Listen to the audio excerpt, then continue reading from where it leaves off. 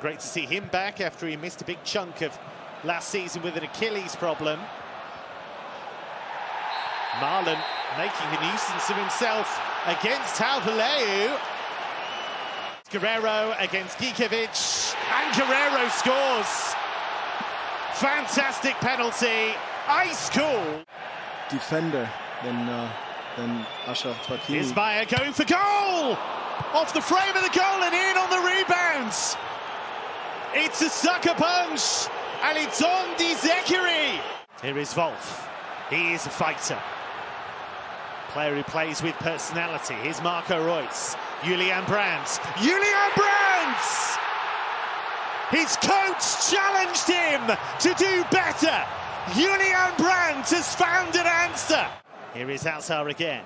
Came close to getting an equaliser against Gladbach last week. And it's fallen kindly and pushed away by Gikiewicz and then off the crossbar from Reus on the follow-up. And how have Dortmund not scored a third there?